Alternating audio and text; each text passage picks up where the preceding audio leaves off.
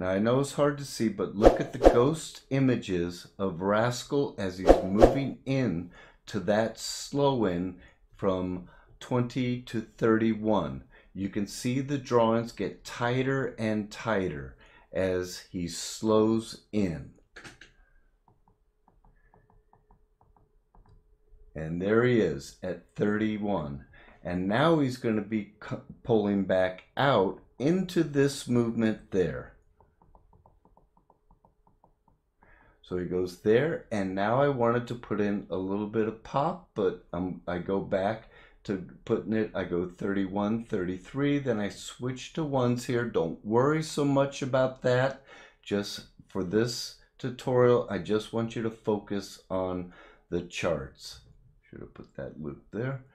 I just want you to focus on the charts and the placement of the loops. So this is, again, just a basic slow in. He's coming out 33, and then he goes into 34, and you'll see from this one, if you look at the drawings again, look at the onion skinning, he comes in and all the drawings get tighter right in there.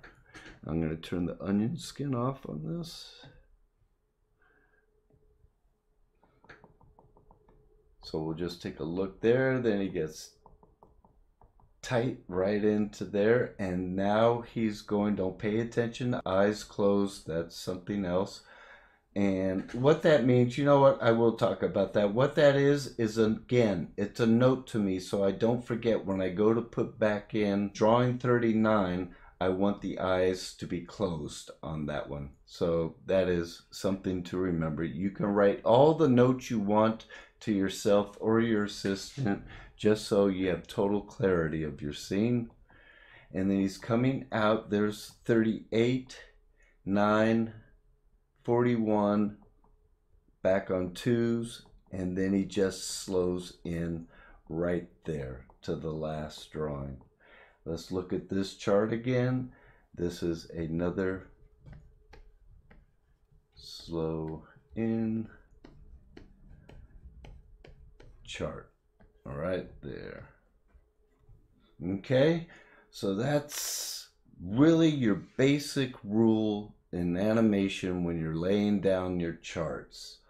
What we have here is a little bit of a snappier type of animation where you're being a little bit truer to your poses. That is a term that's used in animation a lot. Be true to your poses. And what it is, is that we are favoring the drawings that we are working out of or working into. So there might be, for instance, on this one, I did, just for this tutorial, I put in a simple direct breakdown, drawing 13, that falls directly in the middle of 1 and 15. But the big difference here is, is that even though there's a dash here, there's no number, there's no drawing that's going to fall directly in between 13 and 1. What it is, is that drawing 11 is favoring drawing 1.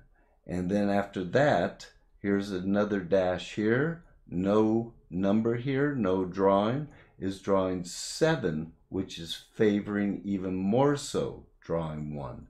And what that does do is it gives you a bit more snap. Okay, and now we can see as he's coming out, these drawings are favoring drawing one, and then here's the big motion right here. So what happens is, I want you to understand that the eye is starting to see the motion of Rascal coming forward. Boom, boom, boom, bang. And then the big movement comes and he just pops right into there and then he comes from that anticipation comes out again you're going to see drawing 16 is is favoring drawing 15 and then we got drawing 17 and 18 which is a consistent movement. How do we know? Again because of this loop right there. And the spacing is even from there, there, there, right up to 18. Or 19, I'm sorry, right up to 19. So there's 17, 18, 19 pops up right into there. And what that does by making your charts and spacing your drawings within that correct uh, favoring of the drawings, it gives it more snap into your animation. And then he just comes up there, and now being truer to this pose as he slows in there. He's yelling. There's still movement, but you can see. Notice how tight these drawings are. And they were all indicated on the chart of the previous one, right, right there. And it's just you can see these dashes there. They know if I wanted to, I could I could just write proceed right there with these drawings. But they'll understand, and you'll understand as long as you understand it that they proceed into these very tight in betweens right there. And then he goes from 31, notice here, I put in 34, pretty simple, direct in between. 33 again is favoring 31 and I made 32 just a direct in between between 31 and 33 and the same thing down here with 35 and 36. And then he comes into there tight. And then on this chart, notice how this is a very good example. Here, here's a good one. Uh, we got 37. Notice 38 is favoring 37 very tight. That's it. Right there. Very tight in comparison to that drawing. Right there. So 38 into 39, you'll see it's favoring it. And there's 39, which is down here. It's not halfway. Also note, I put in a dash there. It is not literally in between these two drawings where I put this dash right there. But the loop, again, is telling me and the assistant it is gonna that is the indication of halfway mark right there but then when we go to 39 we're going to put 39 right there which is going to be directly in between whatever it it's favoring i'm sorry it is favoring uh the last drawing which is going to be 47 um i don't know why i wrote that in there it's actually 47 because that's the last frame uh, that it cuts on.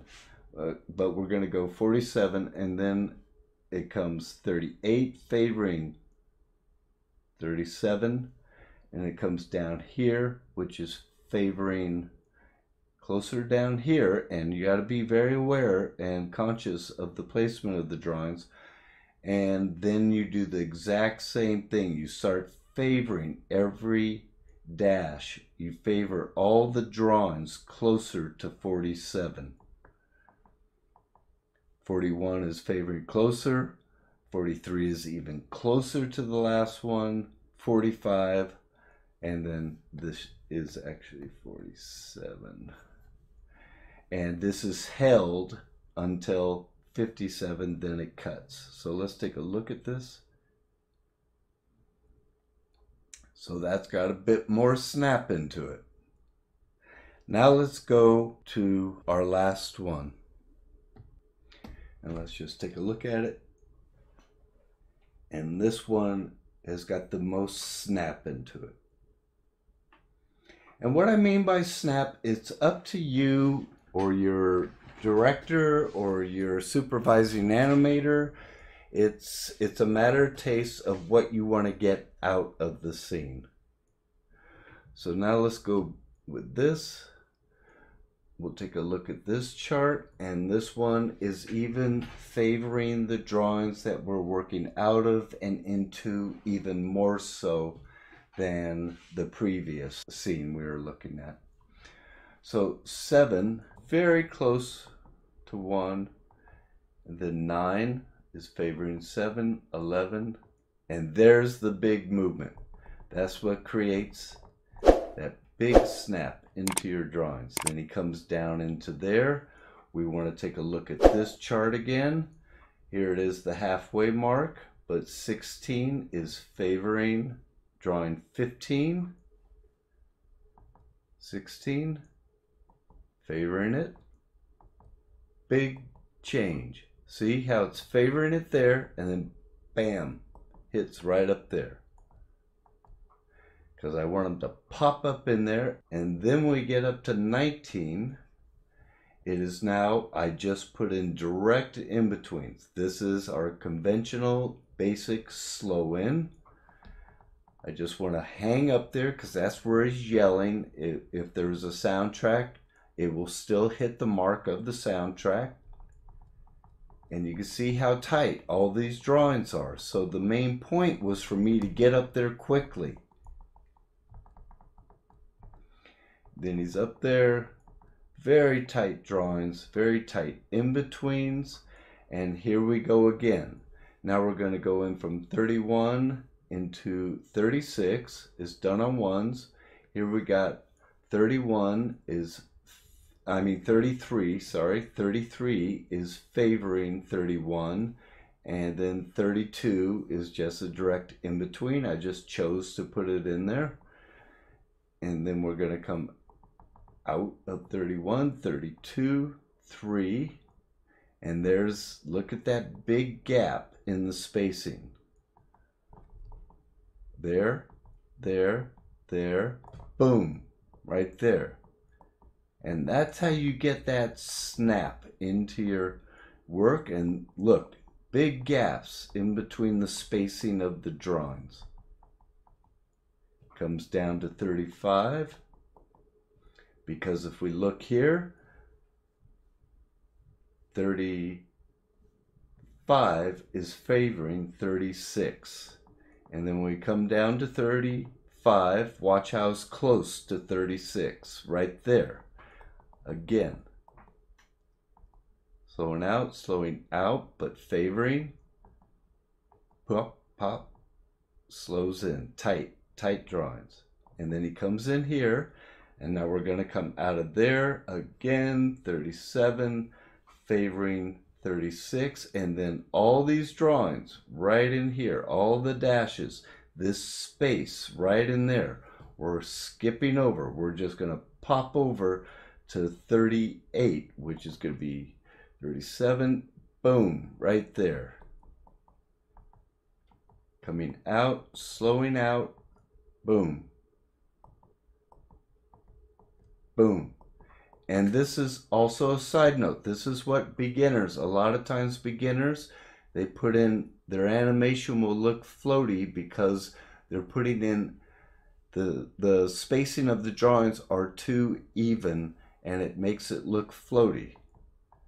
So then you just pop into it and again, I want to repeat this, very important, because we got this little movement right there, the eye the viewer's eye, our eye, the human eye can see this this motion. We feel it. We don't really see it per se, but we feel it coming out, and then you can go bam right there. Just have them hit right there, and you'll see how tight these drawings are.